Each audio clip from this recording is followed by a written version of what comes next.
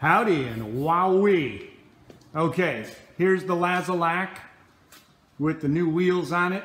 Looking good. Let me get a shot of that this way. As promised. Oh, we got a lot of attitude there. Try to get the best shot for you so you can see what's going on. Yeah, no, I don't have a drone. That's me raising my arms. Let's take a look at the other side. Oh yeah, just enough attitude.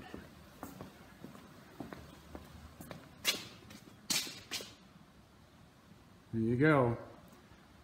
Summit wheels, patinaed, clear coated, hand painted lettering by yours truly. Shine up the tires. There's the abstract we did a few weeks ago. Back, it's looking good. And I happen to have Greekster from Greekster's Garage here. Hey Greekster. Hey, how are you? I'm well. What we working on here? Working on the 46 Ford Business Coupe. If you don't know and you don't follow Greekster, he this is a 1946 Ford Business Coupe. Doesn't have a back seat. Just made to haul sales cases. All the suspension's been pulled and he's been working on the firewall all day.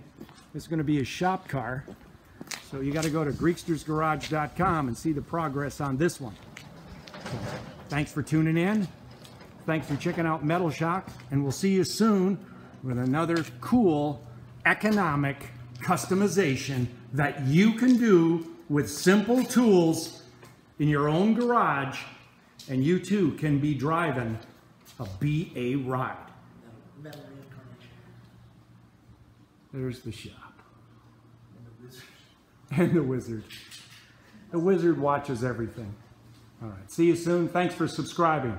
Bye.